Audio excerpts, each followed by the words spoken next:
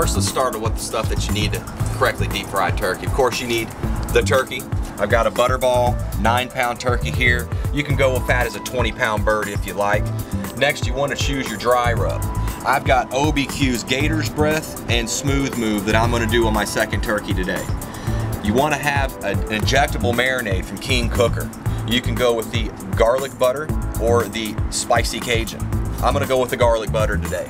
You're also going to need a thermometer for your deep fryer to know how hot your oil is, also available from King Cooker. And of course, most importantly, you need your deep fryer, which is from King Cooker, propane fired, propane ring, as well as your deep fry pot. All available for sale here at Premier Grilling. Step one is we're gonna prep the turkey. Obviously take the turkey out of the package. You wanna remove all the giblets, all the gravy,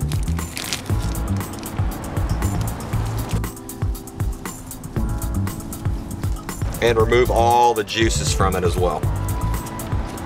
All right, next we're gonna see what's in the injectable box here. You've got your Cajun injector.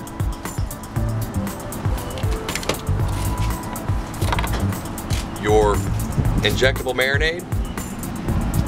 All right, first, the needle comes in the injector, so you wanna take it out and twist it onto the end there. Fill it all the way up. You're gonna inject it four times in each spot. So we're gonna take the top part of the breast here. Slowly push the plunger down to inject the marinade. And you put it all in there? Use the entire thing. Now I'm gonna use this same hole, but what I'm gonna do is I'm gonna come in at a different angle to get different part of the breast. Once again, same hole, but I'm gonna go in at a slightly different angle here. And you're gonna feel it plump up. That's just the juice getting into the meat. Exactly what you want. So you don't inject all over the place because you'll start having your seasoning shooting out all over the place. Yeah, you don't want to poke too many holes into the breast. You don't want your juices flying out. And uh, once that hole seals up in the fryer, you, you want to keep all those juices in. Now I'm going to inject the thigh. Same thing, one hole, but you're only going to do two different directions on the thigh.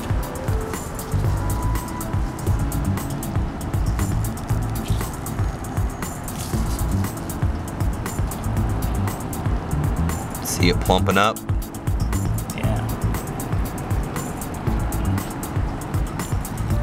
Next step is the dry rub. Be sure and get a good dry rub. I'm gonna go with OBQ's Gator Breath, available for sale here at Premier Grilling.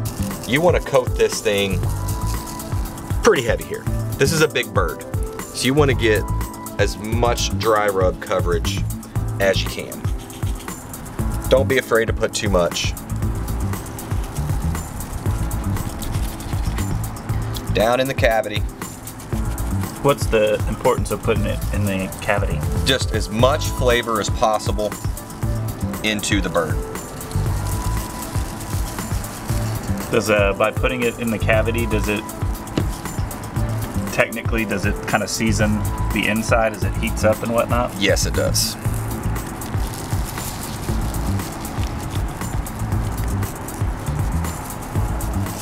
Now we're going to prepare the turkey for the fryer. This piece right here is a hanger that comes in your deep fryer kit. You're going to go through the bottom of the turkey, out through its neck,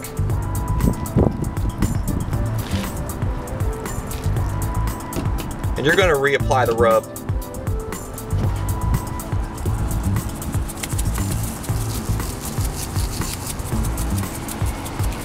Now let's prepare the fryer ready to fry. Now I'm gonna use canola oil because of a peanut allergy that I have, but feel free to use peanut oil, canola oil, or vegetable oil. Any frying oil is gonna work. Now, when pouring the oil into your fryer, there is a line clearly marked on your canister for a max fill line. It's only about halfway full, but keep in mind when you drop your turkey into the hot oil, it's gonna rise near the top and you don't wanna overflow your oil. Included in your King Cooker fryer is a propane safety valve that hooks up to your propane tank. So you screw it onto your tank, you turn your gas on, you turn your regulator counterclockwise on. This is your propane safety valve right here. It has two AAA batteries. You're gonna push the black button until you get a red and a green light. Now you're ready to ignite. You're gonna put your igniter in here, light it,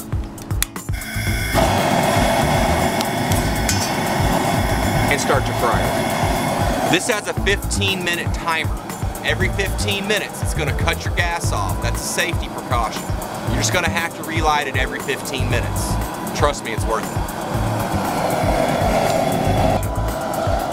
Fryer's lit, you wanna get your oil to a hot 350 degrees. You're gonna need to use your King Cooker fryer thermometer in order to know how hot that fryer is. Goes right on the outside of the tank,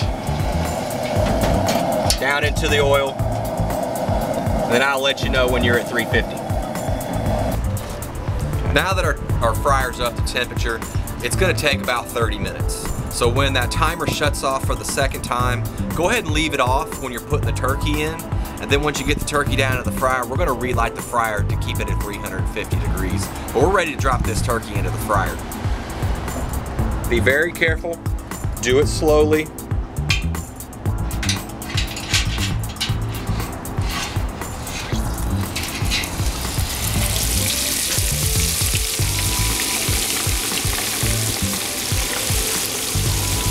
That's all folks. Uh, we're pretty close to being done. It's been about 30 minutes. I'm gonna poke here in the breast to see what our internal temperature is. We're done. That's right at 30 minutes. Now our bird's been resting for about 10 minutes, so we're gonna go ahead and cut into the breast and just see how this thing looks on the inside.